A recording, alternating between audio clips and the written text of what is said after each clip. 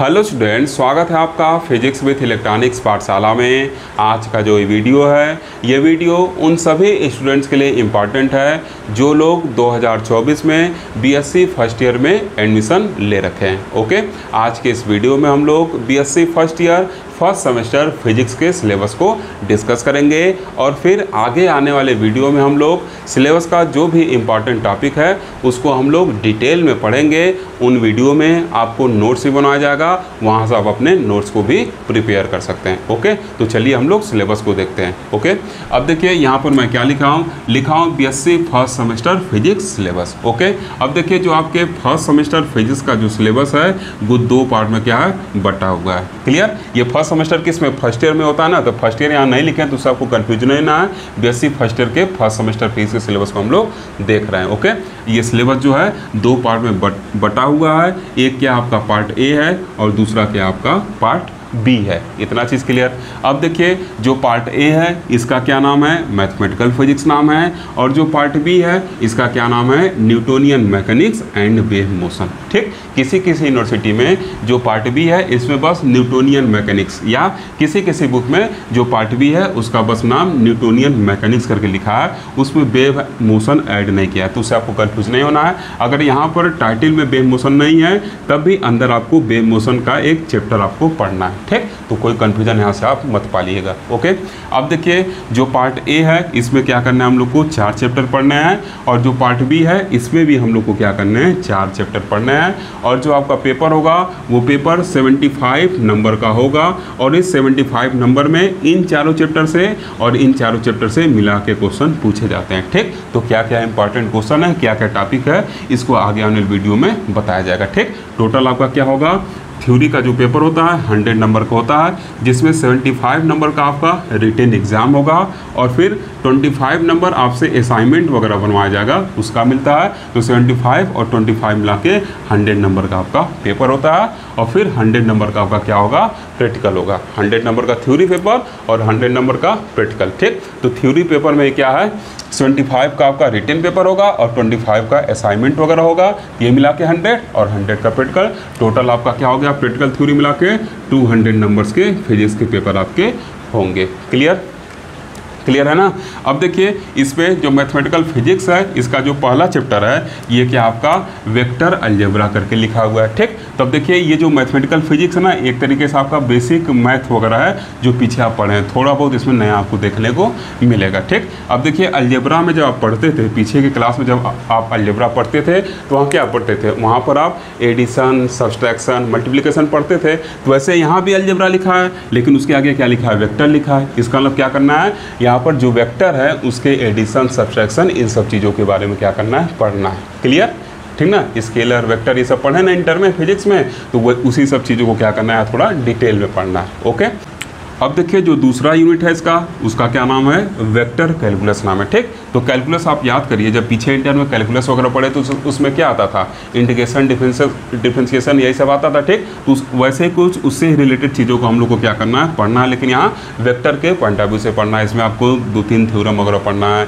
गास divergence theorem स्टोक्सकल theorem फिर आपको ग्रीन्स थ्योरम ये सब इसमें आपको डिटेल में पढ़ना है, ठीक? अभी हर एक चैप्टर का क्या क्या कंटेंट है, उसके पी को मैं अभी शेयर कर दूँगा। वहाँ से आप स्क्रीनशॉट ले सकते हैं, या व्हाट्सअप या टेलीग्राम पे आप सिलेबस के पूरे कंटेंट को भी ले सकते हैं ओके अब देखिए जो थर्ड चैप्टर है, ये क्या आपका कोऑर्डिनेट सिस्टम करके दिया हुआ है, ठीक? इसमें हम लोग को कोऑर्डिनेट वगैरह के बारे में पढ़ना है कार्टेशियन कोऑर्डिनेट स्फेरिकल कोऑर्डिनेट ठीक? सिलेंड्रिकल कोऑर्डिनेट इन सब चीज़ों के बारे में पढ़ना है। फिर एक दूसरे से रिलेशन कैसे हम कार्टेशियन से स्फेरिकल में जा सकते हैं, कैसे हम कार्टिसियन से सिलेंड्रिकल में जा सकते हैं मतलब इनके आपस के कन्वर्जन वगैरह के बारे में क्या करना है, पढ़ना है ओके अब देखिए, जो चौथा चैप्टर है, ये थोड़ा आपके लिए क्या है, नया है इंट्रोडक्शन टू टेंसर इसमें थोड़ी सी आपको नई चीज़ें देखने को मिलेंगी तो इसको जब हम लोग आगे पढ़ेंगे तो अच्छे से आपको समझाया जाएगा ओके अब देखिए, जो पार्ट बी है, इसमें चार चैप्टर बताए हैं, ठीक? तो इसका जो पहला चैप्टर है, ये क्या आपका dynamics of system of particle ठीक?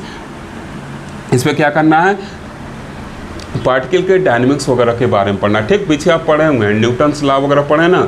वही सब चीज़ें हम लोग को क्या करना है, इसमें पढ़ना है। ठीक, फिर क्या होगा, जब पार्टिकल्स वगैरह को बनाए, आपस में क्या किया जाएगा, पार्टिकल्स वगैरह को एक, पार्टिकल्स वगैरह को एक साथ लिया जाएगा। ठीक, और दो पार्टिकल के बीच का डिस्टेंस क्या फिक्स हो तो क्या होगा, रिजिड बॉडी वगैरह का कॉन्सेप्ट आता है। ठीक तो यहाँ पे क्या करना है, रिजिड बॉडी के डायनेमिक्स को दूसरे चैप्टर में पढ़ना है। आप याद करिएगा मूवमेंट ऑफ़ इनर्सिया वगैरह पढ़े हैं इंटर में। ठीक तो वही मूवमेंट ऑफ़ इनर्सिया वगैरह पढ़ना है, थोड़ा सा उससे हाई लेवल का पढ़ना है। ओके अब यहाँ पे क्या है? प्लैनेट्स और सेटेलाइट के मोशन को पढ़ना है। ये भी आप इंटर पढ़े हैं, ठीक? तो 75 परसेंट चीज़ आप इंटर में पढ़ चुके हैं। यहाँ पर बस एक्स्ट्रा हम लोग को 25 परसेंट पढ़ना है, ठीक? ये आपका सिलेबस काफ़ी इजी होने वाला है। देखिएगा, जब बताया जाएगा तो आपको काफ़ी अच्छे से समझ में आएगा। किसी भी तरीके से आपको डरना नहीं है। अब देखिए, जो फोर्थ यूनिट है, ये क्या आपका बेव मोशन करके दिया हुआ है, ठीक? इसमें सिंपल हार्मोनिक मोशन वगैरह के बारे में, फिर डैम्प हार्मोनिक एक्सलेशन वगैरह के बारे में, फिर आपको फोर्स हार्मोनिक एक्सलेशन वगैरह के बारे में क्या करना है? इसमें पढ़ना है, फ़ेज़ विलास्टिक ग्रुप विलास्टिक ये सब चीज़ों को क्या करना है? पढ़ना है, ओके? तो इस तरीके से आपके बीएससी फ़र्स्ट ईयर के फ़र्स्ट सेमेस्टर फिजिक्स में टोटल क्या है? एट चैप्टर हैं, ठीक? इन एट चैप्टर से क्या होगा? क्वेश्चन बनाया जाएगा। सेवेंटी नंबर का आपका थ्योरी का रिटर्न पेपर होने वाला है, ओके? अब इस इस चैप्टर के अंदर क्या क्या कंटेंट है, उसको मैं शेयर कर देता हूँ। आप चाहें तो स्क्रीन ले सकते हैं, ओके? देखिए स्टूडेंट अब हम लोग यूनिट वाइज कंटेंट को देखेंगे, ठीक? तो देखिए यहाँ पे पार्ट ए के यूनिट वाइज कंटेंट को हम लोग देखने चल रहे हैं और ये पार्ट ए आपका है क्या? मैथमेटिकल फिजिक्स है, ठीक? अब इस मैथमेटिकल फिजिक्स का जो फ़र्स्ट यूनिट है, वो क्या है? वेक्टर अलजेब्रा है। इस वेक्टर अलजेब्रा के अंदर हम लोग को इतने सारे कंटेंट को पढ़ना है। ओके? क्लियर इतने सारे कंटेंट को क्या करना है? पढ़ना है, ओके? फिर आपका जो सेकेंड यूनिट है पार्ट ए का, वो क्या वेक्टर कैलकुलस है? उसके अंदर हम लोग को ये सब कंटेंट पढ़ना है, ठीक? इस सेकेंड यूनिट में देखिए, जो गास डाइवर्जेंस थ्योरम है, फिर स्टोक्स कल्स थ्योरम है, फिर जो ग्रीन्स थ्योरम है, ये तीनों थ्योरम मोस्ट मोस्ट इंपॉर्टेंट है। इन तीनों में से एक थ्योरम तो आपको एग्ज़ाम में आना कन्फर्म है, वो भी लॉन्ग क्वेश्चन में पूछा जाता है, ठीक? तो इन थ्योरम को मैं डिटेल में पढ़ाऊँगा, वहाँ से आप अच्छे से नोट्स वगैरह बना के पढ़िएगा, ठीक? अब देखिए, जो थर्ड यूनिट है, उसका जो कंटेंट है, वो भी आपको स्क्रीन पर देख, दिखाई दे रहा है। यहाँ से आप स्क्रीन ले सकते हैं, ठीक? थर्ड यूनिट जो है आपका कोऑर्डिनेट सिस्टम उसके ये सारे कंटेंट हैं। और जो फोर्थ यूनिट है इंट्रोडक्शन टू टेंसर उसके ये कंटेंट हैं। क्लियर अब देखिए, यहाँ पर जो फोर्थ यूनिट है, ये थोड़ा आपके लिए नया है। ठीक? जिसको मैं जब डिटेल में पढ़ाऊँगा तो वहाँ से आप चीज़ों को अच्छे से समझेंगे। थोड़ा सा बस पेशेंस रखे रहिए। वीडियो को अपने क्लासमेट के साथ शेयर करते रहिए। अगर आपका रिस्पांस अच्छा रहेगा तो डेफिनेटली बहुत ही अच्छा कंटेंट आपको प्रोवाइड किया जाएगा। आप जाके चैनल पर प्ले देखिएगा। फिफ्थ सेमेस्टर सिक्स सेमेस्टर का, वहाँ पर जाके देखिए अच्छे अच्छे कंटेंट प्रोवाइड किए गए हैं। ठीक?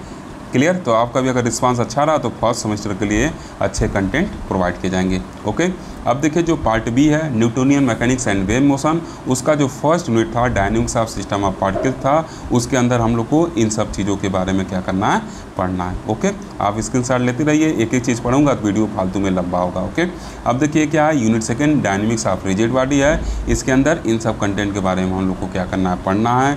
फिर जो थर्ड यूनिट है, वो क्या है motion of planets and satellite है, इसके अंदर हम लोग को इन सब चीज़ों के बारे में क्या करना है, पढ़ना है, ठीक? अब देखिए थर्ड यूनिट में क्या आपका थर्ड यूनिट में जो कैपुलर्स ला प्लानिटरी मोशन वगैरह है, ये क्या है, काफ़ी ज़्यादा इंपॉर्टेंट है, ठीक? तो इन सब चीज़ों को भी डिटेल में पढ़ाया जाएगा, ठीक? वीडियो, मैं सिलेबस के कंटेंट को पढ़ाने के पहले एक आपको इंपॉर्टेंट क्वेश्चन का वीडियो दूँगा, फिर उसी के अकॉर्डिंग क्या करूँगा, आगे पढ़ाऊँगा, ठीक? जो भी आपको इंपॉर्टेंट क्वेश्चन का वीडियो दिया जाएगा 99.99 परसेंट उसमें से आपको क्वेश्चन एग्ज़ाम में ज़रूर मिलेंगे ओके अब देखिए, जो आपका फोर्थ यूनिट है, ये क्या है? बे मोशन है। इसमें आपको इतने सारे कंटेंट के बारे में पढ़ना है, ओके? तो आज की वीडियो में बस इतना ही। आज की वीडियो में हम लोग अपने सिलेबस को देख लिए हैं। अब आगे आने वाली वीडियो में हम लोग मोस्ट इंपॉर्टेंट टॉपिक के बारे में डिटेल में पढ़ेंगे, okay? Thank you for watching